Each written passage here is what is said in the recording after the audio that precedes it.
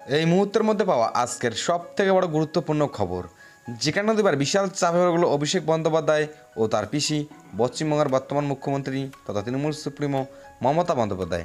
কারণ রাজ্যের মাটিতে তৃতীয়বার তৃণমূল কংগ্রেস ক্ষমতায় এসে যেভাবে প্রতিটা জেলা জেলা দুর্নীতি ছড়াচ্ছে, তার বিরুদ্ধে এবার গর্জে উঠল সিবিআই।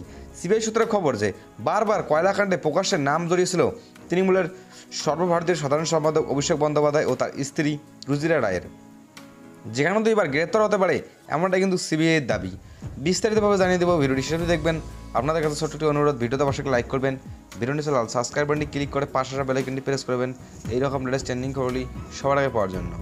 যেখানে তো বিশাল চাপ হয়ে গেল, তৃণমূলের সর্বভারতীয় সাধারণ সম্পাদক অভিষেক বন্দ্যোপাধ্যায় ও পশ্চিমবঙ্গের বর্তমান মুখ্যমন্ত্রী তথা তৃণমূল সুপ্রিমো মমতা বন্দ্যোপাধ্যায়। কারণ কয়লাকাণ্ডে বারবার নাম এসেছে অভিষেক বন্দ্যোপাধ্যায়ের। এবার এটির তরফ থেকে নোটিশও দেওয়া হলো অভিষেককে। কিছুদিনের মধ্যেই গ্রেপ্তার হতে পারে অভিষেক ও তার স্ত্রী। তো বন্ধুরা, আপনাদের কি মতামত? এই কয়লাকাণ্ডের পিছনে অভিযুক্ত তাদের নাম রয়েছে? তাদেরকে গ্রেপ্তার করা উচিত কিনা? অবশ্যই আপনাদের মূল্যবান মতামত নিচে কমেন্ট বক্সে কমেন্ট করে জানাতে ভুলবেন না।